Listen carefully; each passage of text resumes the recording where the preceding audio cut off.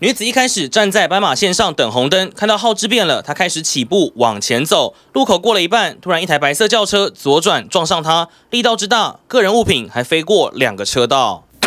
再看一次监视器画面，先是拍到女子过马路，直到离开画面了，车子才撞上，并没有拍到事发瞬间。伤者家属在脸书 po 文，希望路过的汽机车提供现场画面。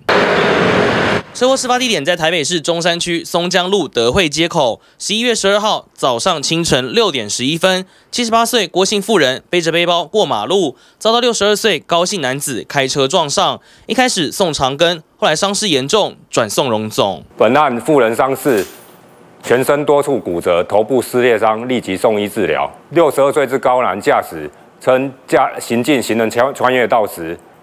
未看见行人。警方调查，驾驶并没有酒驾。至于妇人伤势严重，右脑出血，后脑勺骨头裂开，头部外伤缝了七针，左边肩胛骨裂，肋骨断了三根，骨盆、右膝盖都受伤。目前人还在加护病房观察。TVBS 新闻陈佑祥、许立凡、许佑祥台北采访报道。想看最完整的新闻内容，记得下载 TVBS 新闻网 APP。